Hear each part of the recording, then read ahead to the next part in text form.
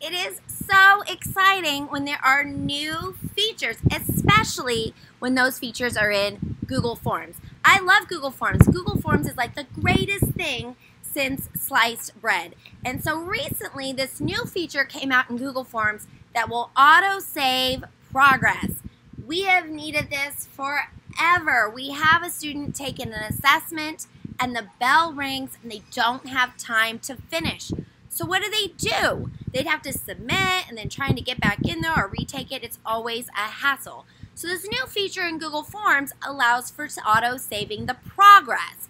But here's the thing, it doesn't give you, the teacher, the information. So let's say a student is filling out a Google form. Sorry for all the wind. Uh, let's say a student is filling out a Google form, they're doing their assessment, they run out of time, they need to finish it later. So they filled in their name, they've answered the first question, they've answered the second question, it is auto-saving, just like when you're in a Google Doc or Google Slides and you're typing in there, there's no save button, it's just saved. And when you come back to your Google Doc, you come back to your Google Slides, there's all your work that you've done.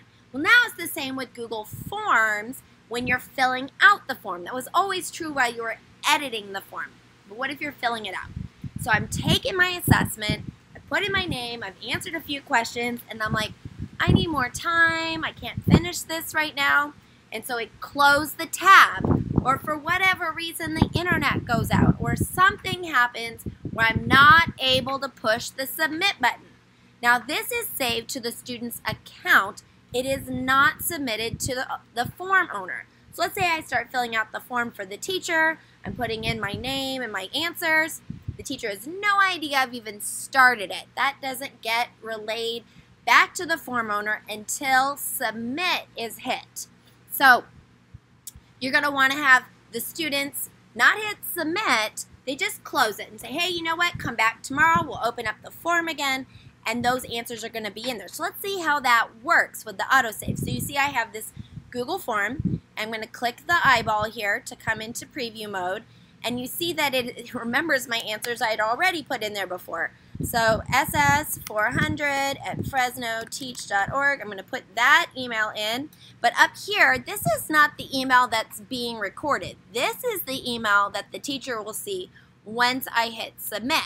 This up here is where it is being saved. More specifically, into the Chrome browser that I am logged into. It's saved into there. It's not necessarily specific to this computer, but to this account. It's saving it to this account. So notice I have put in my email, I've answered a question, and then I'm just to close the form. What? You closed the form, you lost all those responses, but when I click the eyeball, notice that it's still filled out. It still has all of my answers in there because it is previewing the same. Now I can go ahead and hit submit, and now it's submitted it, and now the teacher has all of the information, but only once submit is done. So when we do